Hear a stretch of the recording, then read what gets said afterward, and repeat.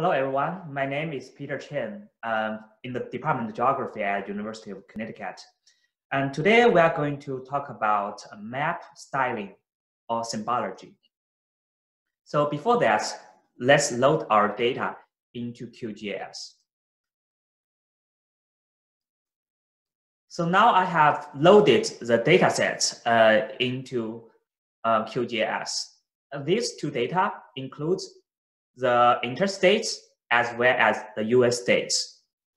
So first, let's categorize the interstates. If you right click the layer of interstates and open the attribute table, you can see the properties of the roads. Um, and we're going to be focused on only one of the fields, which is called class. So for this class field, this is a categorization based on the route type code, or RTTYP, given by the US Census Bureau. And there are six different codes uh, in this table. C, I, M, O, S, and U. So we're going to be focused on only two of the codes, which is I, interstate, and U, US highway. So uh, let's close the attribute table. In order to symbolize or categorize the interstates with different style, we need to bring up the properties first. So right click the interstates and choose properties. So for styling, we choose this symbology tab or panel. And now the map uses a single symbol, which means every feature has the same style, which is this brown color.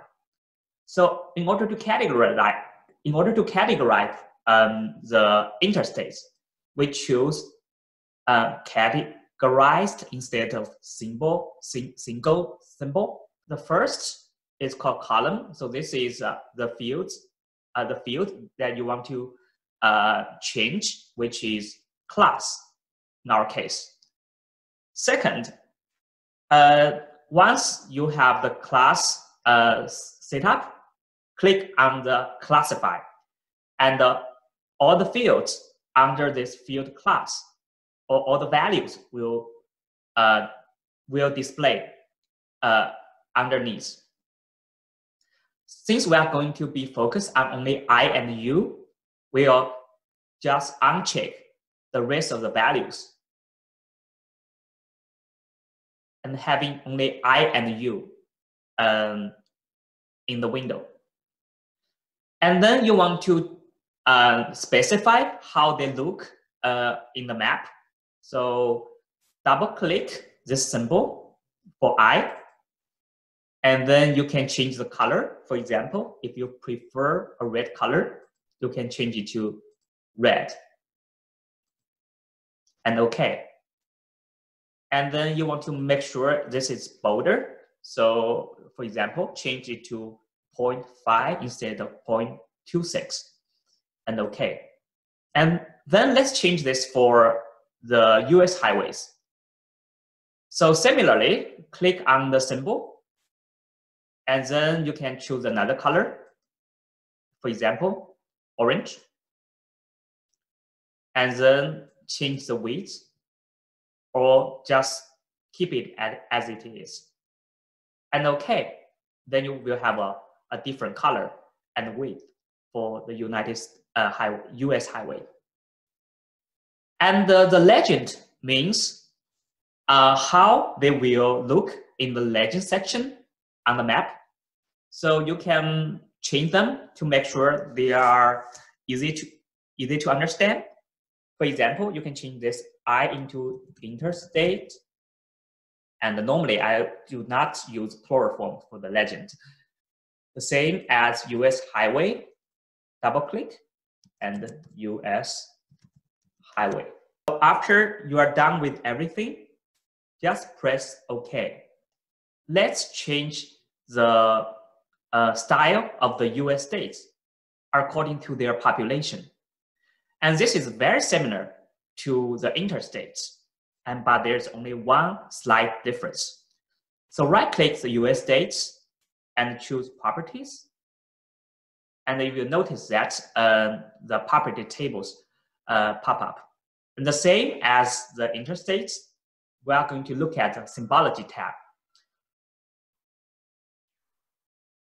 And because the population is a numerical field, uh, it's not categorical as interstates, so we are going to use a different symbology, which is called the graduated or graduated colors. So let's switch to graduated, and then we choose um, population 2000. And after that, um, you can choose a mode, which is how the, the, the colors or the numbers will be classified. So there are many modes to choose from, such as equal interval, quantile, natural breaks, standard deviation, and uh, there's one which is not available in ArcGIS, and this is a unique feature of QGIS called pretty breaks. So if you choose that, all the values will be broken into rounded numbers. So once you have uh, set up the mode, you can see all these numbers uh, will be rounded uh, in the values section. And let's change the color uh, to reflect how they will look on the map. And this is called the color ramp. Uh, under the dropdown, there are different uh, styles. And of course, there are more to choose from under all color ramps. So for example, I like this red color from the white to red with a yellow uh, in the transition. So this dark red represents a large population and the, the white yellowish uh, color represents the small population. And uh, of course, you don't have to, you don't want to see many zeros appear uh, in your legend. So let's simplify it. For this one, I'm going to change it to under five, representing under five million. I'm overlooking that million because you can insert a tag in your legend section uh, called um, in million. So which means you know everything will be in million. Every num every number will be in million, and this simplify your legend to some extent and make it more professional.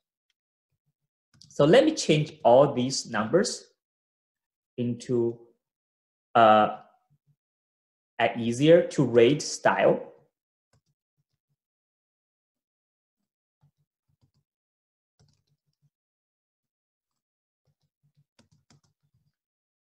And the last one would be above 30.